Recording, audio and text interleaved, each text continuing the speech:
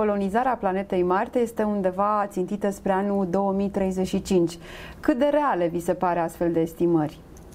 Eu uh, consider că sunt foarte reale.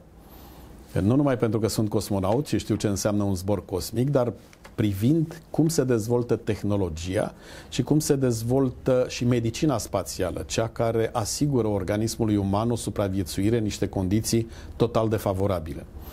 Uh, inițial, NASA a anunțat un program, uh, trimiterea unui echipaj uman spre Marte prin 2033. A fost o declarație mai mult teoretică.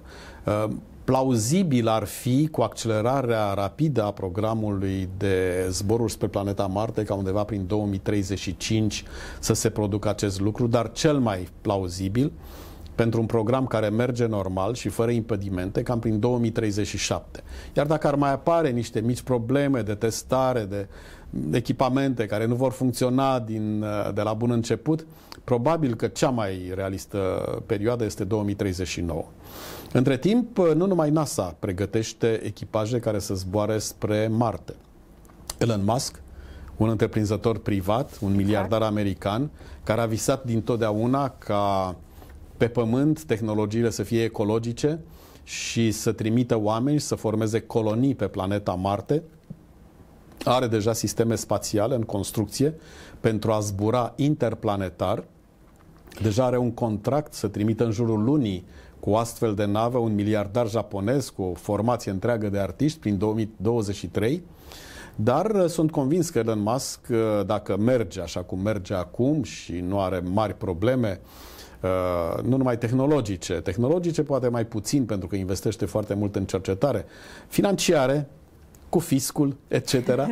El vorbim uh, totuși despre un da. om care are și foarte mulți bani. Exact. Credeți că urmărește... Va trimite oameni, poate chiar înaintea NASA pe Marte. El spune că undeva peste 40-100 de ani, de un interval destul de larg, pe Marte va exista deja o colonie de un milion de oameni. Credeți că în cazul lui este vorba despre aventură sau chiar profit? Ce urmărește de uh, fapt? Zborul spre Marte nu aduce neapărat profit.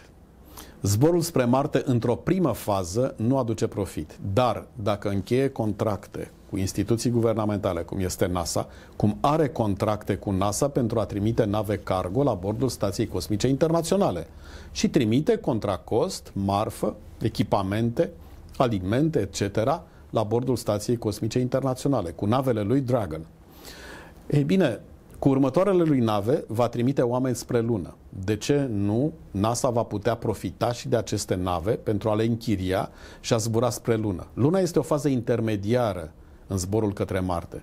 De ce intermediară? În primul rând avem nevoie să ne antrenăm, să testăm numeroase tehnologii care să funcționeze în afara sferei de atracție a Pământului, în afara centurilor de radiație ale Pământului, într-un spațiu îndepărtat, deep space, îi spunem noi.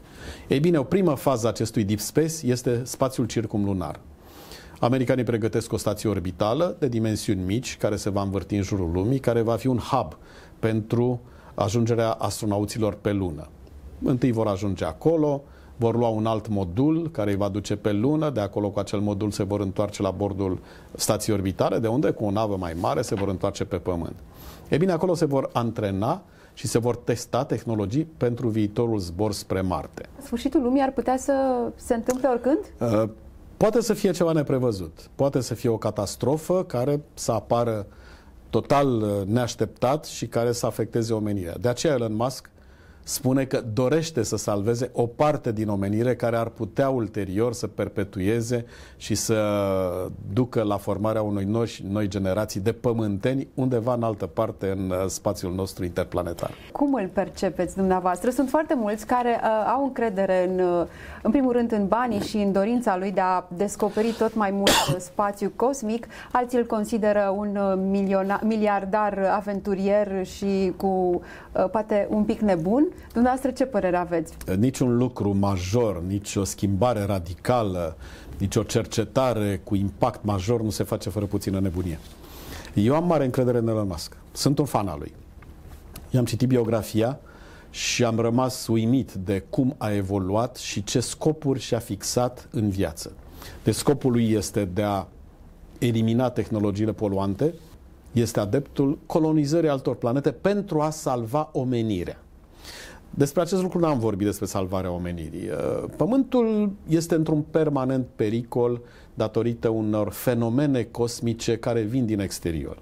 Fie că este vorba de explozii solare puternice care trimit o cantitate de plasmă puternic încărcată energetic spre Pământ, care poate să afecteze sistemele tehnologice, electronice, energetice, dar și sănătatea umană. De asemenea, modificarea uh, câmpului magnetic al Pământului ar putea să ducă la o creștere a radiațiilor cosmice la nivelul solului mai mare decât până acum, care să producă uh, afecțiuni asupra ființelor vii, cancere, de exemplu. Uh, de asemenea, asteroizi de dimensiuni mari ar putea să lovească într-un interval de timp neprevăzut planeta noastră și s-a întâmplat acest lucru de-a lungul istoriei Pământului nostru. Acum 65 de milioane de ani, dinozaurii au despărut datorită schimbării climatice majore produse de impactul Pământului cu un asteroid cu o dimensiune cam de 10-12 km. Unul mult mai mic a căzut în 2013 lângă orașul Celeabinsk, de lângă Urali, n-avea decât 17 metri în diametru, dar unda de șoc foarte puternică a spart geamurile întregului oraș și a rănit peste 1300 de oameni. Gândiți-vă ce ar însemna ca un astfel de asteroid să aibă 300 de metri, un kilometri sau poate mai mult. Deci, uh, cunoașterea lor este foarte importantă, se studiază intens uh, asteroizii care pot uh, prezenta un potențial de impact cu Terra, dar nu toți, pentru că mulți pot apare neprevăzut, pot apare în timpul zilei, când nu-i vedem pe cer, nu-i putem detecta cu niciun telescop. Cei care sunt descoperiți sunt catalogați și se știe cu ce probabilitate ar putea uh, până peste 100 de ani să lovească Terra și aici vorbim de intervale lungi de timp.